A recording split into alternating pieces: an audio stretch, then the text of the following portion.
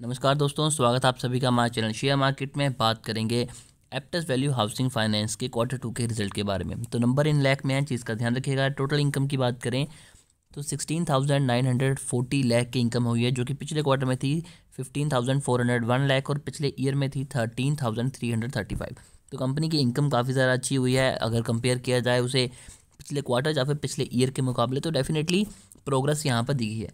अब बात करते हैं एक्सपेंस के बारे में। तो कंपनी के एक्सपेंस भी काफ़ी ज़्यादा हो चुके हैं।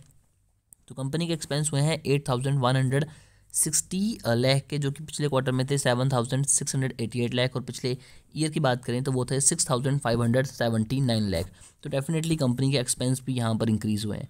तो अब ये जाना ज़रूरी हो जाएगा कि कंपनी का जो प्रॉफिट फॉर द पीरियड आया हुआ है टैक्स पे करने के बाद वो कितना आता है। तो कंपनी का यहाँ पर जो प्रॉफिट फॉर द पीरियड निकल के आ रहा है, वो निकल के आ रहा है six thousand nine hundred thirteen lakh और पिछले क्वार्टर में था सिक्स थाउज़ेंड थर्टीन लैख और पिछले ईयर में था five thousand three hundred twenty three lakh. तो डेफिनेटली यहाँ पर कंपनी ने अच्छा रिटर्न निकाल के दिए हैं अच्छा प्रॉफिट निकाल के दिया है हमें।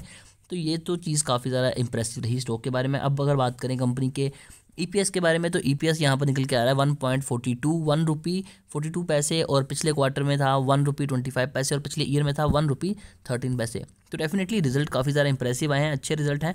आपको रिज़ल्ट कैसे लगे कमेंट करके ज़रूर बताइएगा, वीडियो अच्छी लगी तो वीडियो को लाइक कीजिए। ऐसे और ज़्यादा इंटरेस्टिंग शेयर्स के बारे में जानने के लिए चैनल को सब्सक्राइब करना बिल्कुल भी मत भूलिएगा।